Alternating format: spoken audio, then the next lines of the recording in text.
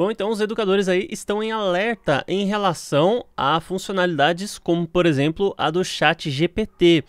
Isso porque é, ele pode escrever o texto que você precisar, o texto que você quiser.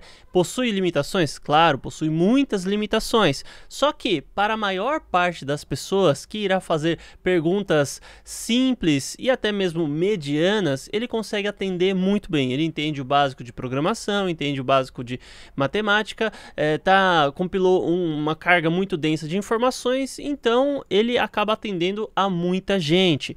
Porém, agora o que as pessoas acabam é, ficando com receio é a respeito de como isso daí será utilizado.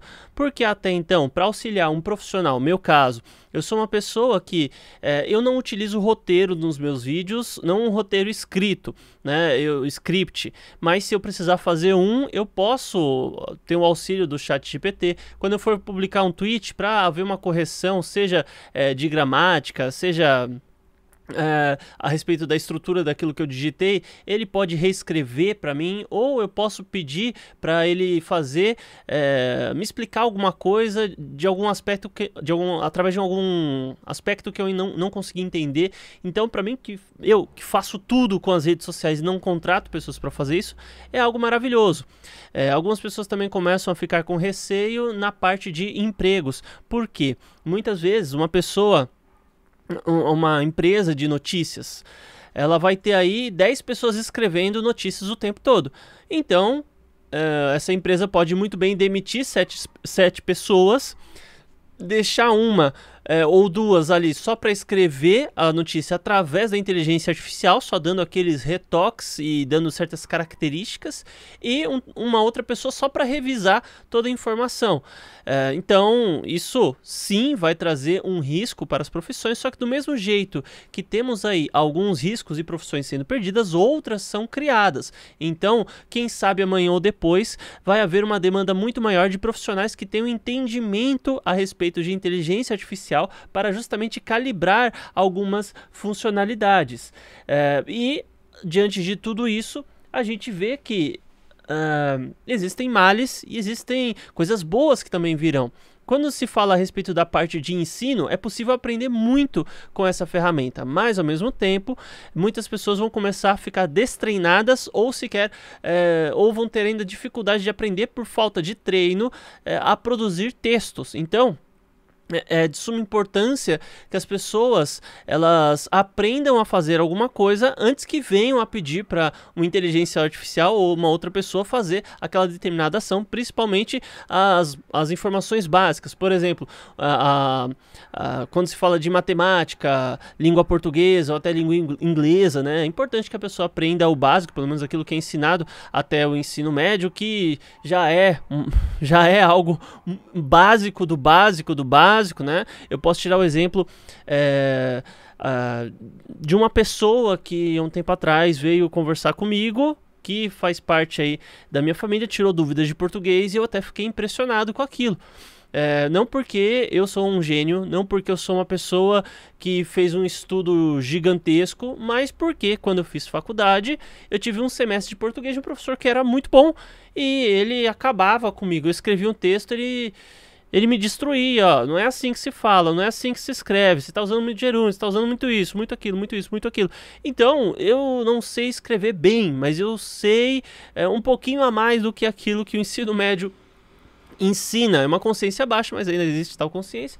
E uh, essa, essa ideia de uh, analfabetos funcionais é algo que realmente acontece nos dias de hoje, principalmente aqueles que vêm das escolas públicas. Então, você junta uma lição de casa, um trabalho que é para ser feito, algo que é para ser escrito, e se usa inteligência artificial para escrever, uh, e ainda pedindo para ela escrever de uma forma simples, né, porque ela pode atender critérios que seriam de acordo com a mentalidade de um adolescente, por exemplo, a gente vai ter muita gente que, infelizmente, não vai aprender nada. É, então, existe essa preocupação, primeiro em relação à perda de empregos e segundo em relação a a questão de aprendizado, né? Então, com isso, a nossa mente, né, de acordo com alguns estudos que eu vi, a nossa mente ela acaba se adaptando de uma forma com a qual como se fosse o nosso smartphone uma extensão da nossa mente. Então a gente aprende, a, ou a internet, num contexto geral, a gente aprende a não armazenar as memórias e as informações da mesma forma como aprendíamos há 20, 30, a 20 ou a 30 anos atrás.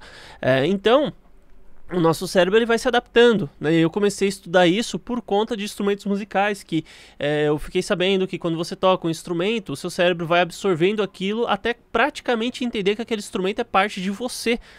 É, então, os smartphones funcionam dessa forma para as pessoas.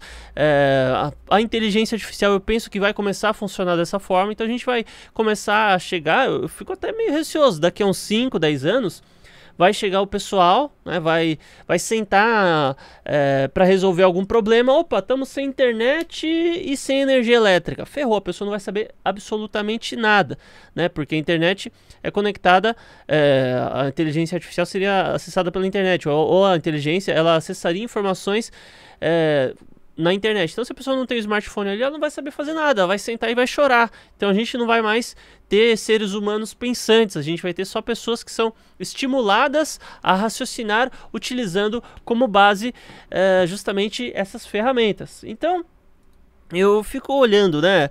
É, quão positivo é isso para a humanidade e quão negativo. E propostas como, por exemplo, a de Elon Musk de colocar essas coisas no cérebro das pessoas, eu acho que vai chegar uma hora que a pessoa vai achar isso aí lindo e maravilhoso, né? A conexão do ser humano com a máquina, que, do meu ponto de vista, é algo que já aconteceu em tempos passados antes de antes do reinício da história. A nossa história, inclusive, já foi reiniciada por diversas vezes. Você pega o caso, por exemplo, do dilúvio. Então, você pode até não acreditar em tecnologias antigas, você pode achar que os antigos eram burros pra caramba, você pode acreditar que eles não sabem de nada, mas daí você começa a ver as pedras de Nazca, como que eles cortaram? Ah, eles cortaram e lixaram, ah, tá. as pedras da, da pirâmide, das pirâmides do Egito. Ah, foram gigantes. Eu não penso que só o fato de existir gigante, e a gente vê em livros antigos que apontam a existência deles, justificaria totalmente isso. É, tem muito mais coisas que a gente não entende. Existem várias suposições de é, dezenas, de milhares, é, na verdade, de escravos para transpor as pedras de uma região a outra em cima de troncos pelo rio Nilo e fazer todo um sistema mirabolante para construir as pirâmides. Então, assim, hipóteses temos várias e várias e várias, mas explicar necessariamente o que realmente aconteceu, a gente não tem quem explique. As montanhas de Nazca também, é, que são montanhas cortadas, como se fossem cortadas, elas não são é, da, da erosão. É, então, eu penso que o mundo já passou por outros momentos em que tivemos acesso a determinadas tecnologias e muito disso pode ter sido ocultado por conta de catástrofes, e eu ainda penso em haver a possibilidade de muito dessas informações é, sobre os antigos ser ocultada através é, ser ocultada de forma proposital, para que a gente não venha ficar sabendo mesmo. Então, de repente, uma tecnologia que surge do nada, né? Talvez seja algo que as pessoas já, já sabiam, né? Uma certa elite, um certo grupo de pessoas já, já sabia da existência daquilo e apenas reformularam a produção daquele objeto. Quando você começa a estudar a história do, é, do Partido Socialista Alemão, né, Partido dos Trabalhadores, igual a gente tem aqui o o PT no Brasil, na Alemanha tem também o Partido dos Trabalhadores, é, Partido Socialista dos Trabalhadores da Alemanha, enfim. É, que é o partido lá do, do, do bigodinho, né? Você começa a, a, ver vídeos, né? Tem alguns grupos aí que é, circulam pelo Telegram, circulam por, pelas regiões mais obscuras, que eles mostram certos vídeos e certas fotos. E eu que mexo com edição de vídeo, eu que mexo com edição de foto, eu consigo perceber no mínimo que se foi uma edição, foi uma edição extremamente muito bem feita, né? É, então uh, a gente até entende a gente até entende que ah, para época é mais fácil falsificar porque é, existiu é, é, mais fácil falsificar certas informações porque já são imagens de baixa qualidade, você pode fazer um esquema ali para aumentar a qualidade e tudo.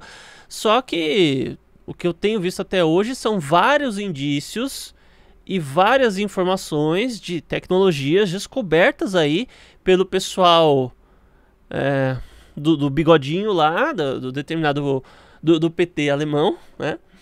É, que, que eles fizeram de, de, determinadas descobertas e a gente não consegue nem ter ideia de até onde aquilo realmente foi, até onde é verdade, mas a gente pode questionar, a gente pode supor. Então, será que algo que já vivemos hoje, talvez já não foi vivido pelos antigos? É, onde, onde estão certas civilizações? O dilúvio é citado aí por mais de 600 civilizações. Então você tem várias cidades e, e nações aí espalhadas pelo mundo todo, várias apontando para o mesmo acontecimento. Então será que toda essa gente imaginou a mesma coisa? Será que toda essa gente está espalhada aí pelo mundo simplesmente ah, pensou ah, ter, ah não vamos supor aí vamos criar uma historinha de gente que foi é, foi morta por um por um grande aguaceiro que veio no mundo todo mandado por um por uma, uma divindade aí pô todo mundo teve a mesma ideia todo mundo resolveu mentir da mesma forma então a probabilidade disso acontecer estatisticamente é muito baixa. Então, por consequência, o dilúvio é algo que tem uma alta probabilidade de ter acontecido. E o que o dilúvio ocultou, a gente não faz nem ideia do que realmente acontecia naquela época. Bom, na verdade, ideia eu até faço e suposições também faço, mas certas coisas a gente não pode ultrapassar certos limites para contar aqui através dessa plataforma, tá certo? Então, muito obrigado por ter assistido e até mais.